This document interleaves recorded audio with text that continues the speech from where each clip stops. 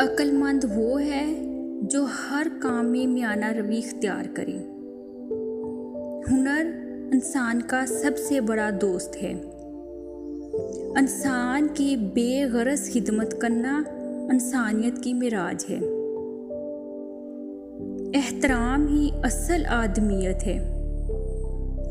आपस में तान ना करो और ना ही एक दूसरे को बुरे अलकाब से याद करो। अल्लाह का खौफ ही सबसे बड़ी दनाई है।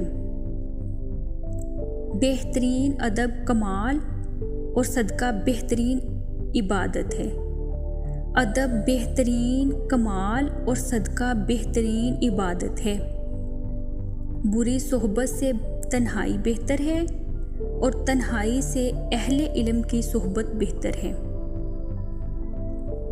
बुरे की सोहबत इंसान को बुरा बना देती है। गुनाह से तोबा करना वाजिब, मगर गुनाह से बचना वाजिब तर है।